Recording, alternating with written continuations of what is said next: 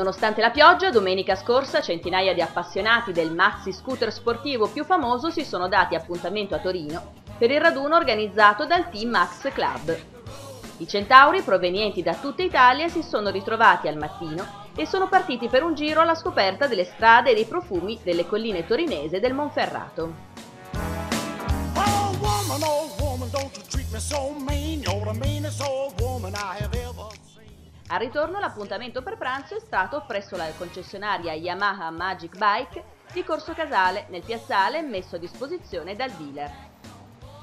Nel pomeriggio gli appassionati del maxi scooter giapponese sono quindi ripartiti alla volta di Torino, dove sono stati i protagonisti di un lunghissimo corteo che ha percorso le principali vie del centro città, attirando l'attenzione dei non pochi torinesi che hanno sfidato la pioggia per una passeggiata domenicale. Il corteo si è poi soffermato presso il piazzale di Superga, da qui, dopo la tradizionale foto di gruppo, i partecipanti sono ripartiti per le rispettive città d'origine.